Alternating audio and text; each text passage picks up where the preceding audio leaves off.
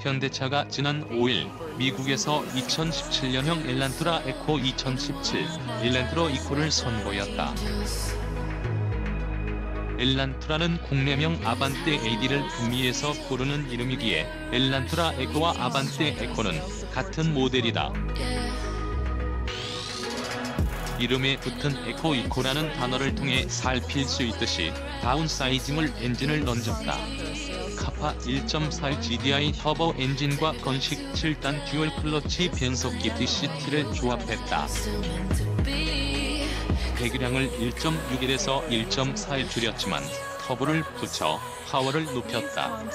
최고 출력 128마력 5500rpm, 최대 토크 21.6kg.m 1400에서 3700rpm으로 국내에서 판매되고 있는 아반떼 1.6L 자연 흡기 엔진 132마력, 16.4kg.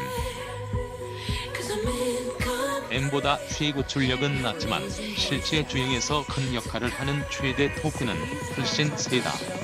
연비는 미국 환경청 EPA 기준으로 복합 14.8kml 도심 13 6kml 고속도로 17kml 15인치 타이어 수준이다. 참고로 국내에서 판매되고 있는 1. 6일 가솔린 모델 1516인치의 국내 기준 복합 연비는 13.7kml이다. 성능과 연비를 봤을 때 1.61 자연 흡기를 대체할 만하다.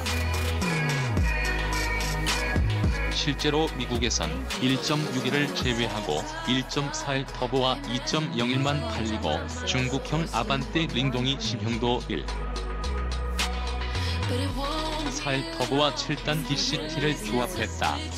때문에 전문가들은 7가지 power train을 내세우며 시장 지키기에 나섰던 소나타의 예를 들며 1.4L 터보 엔진을 단 아반떼의 국내 도입이 멀지 않았다는 의견을 내고 있다. 다만 처한 상황이 소나타보다 급하지 않기 때문에 당장은 이루어지지 않을 전망이다.